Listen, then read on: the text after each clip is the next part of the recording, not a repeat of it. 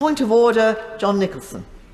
Uh, thank you very much. Indeed, on a point of order, Madam Deputy Speaker, on the 19th of May, when responding to a question from the Honourable Member for Ealing Central and Acton, the Secretary of State for Digital Culture, Media and Sport claimed that the Channel 4 reality series Tower Block of Commons deceived the viewing public using actors rather than real Tower Block residents.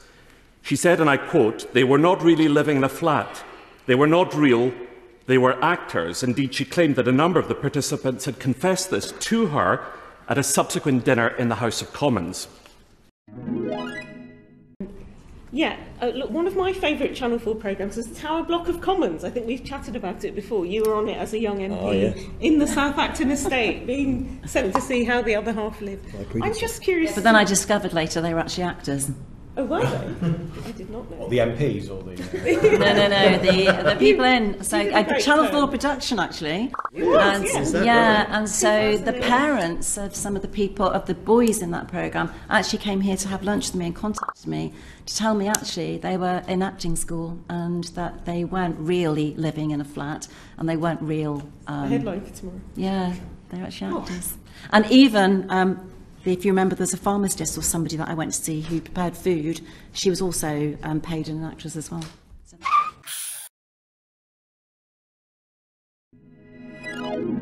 It's a serious charge, not least since the Secretary of State currently holds the fate of Channel 4 in her hands.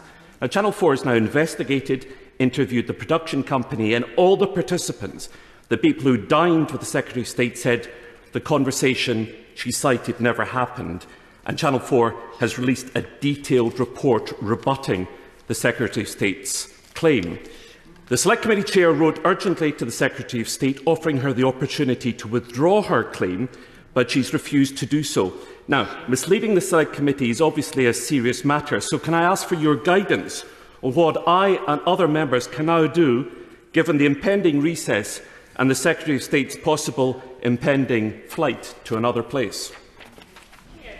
I thank the honourable gentleman for his point of order.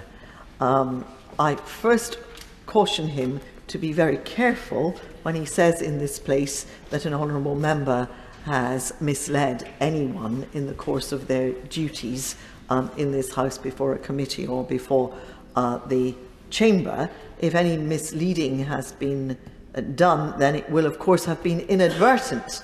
And I'd be grateful if he would just in the first instance acknowledge that any misleading would be inadvertent.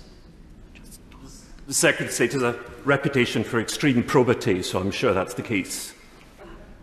I, I thank the honourable gentleman. That's probably as good as I'm going to get. um, uh, uh, the honourable gentleman will appreciate that, of course, it's not for the chair to assess whether evidence given to a committee is or is not accurate. But I understand why he wants to raise the point before the House today. And uh, of course, if the committee concludes that information has been given to them which is not in fact accurate, then it will be up to the committee to decide how to pursue the matter and possibly construct another evidence session.